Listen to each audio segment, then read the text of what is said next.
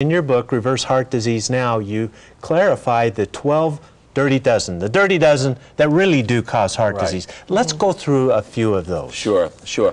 Too much insulin. Too much you know, insulin. Too much insulin. Sugar causes heart disease. When you have swings of sugar, what happens is you get swings of insulin to, to sort of Yeah. metabolize the sugar. And basically, what does insulin do? It's endothelial cell unfriendly. It causes irritation of the what we call the Microvascular lining disease. microvasculature. It causes irritation.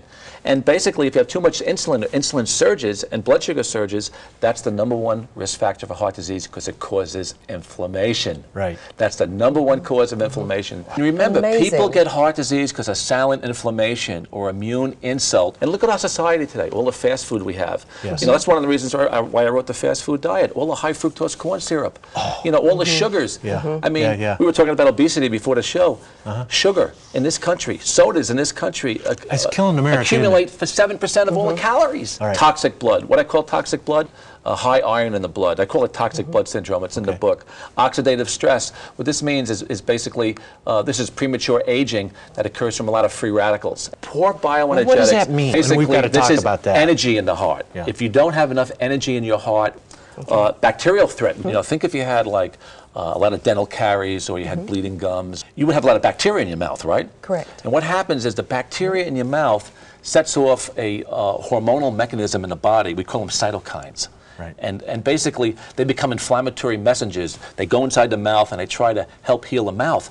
But in the process, these inflammatory messengers can hurt the heart because of the hormones. In other Right. words, ba- basically, these inflammatory cytokines uh, cause inflammation of the heart. Right. Not cholesterol, but this is a new cardiology. Okay. Toxic metals. The environment is full of lead. It's full of It is, cadmium. it? Yeah. You know, uh, Mercury in the fluoride, mouth. fluorine. You know, gets absorbed through the skin, or if it's if it's in our water, we're inhaling it through the shower.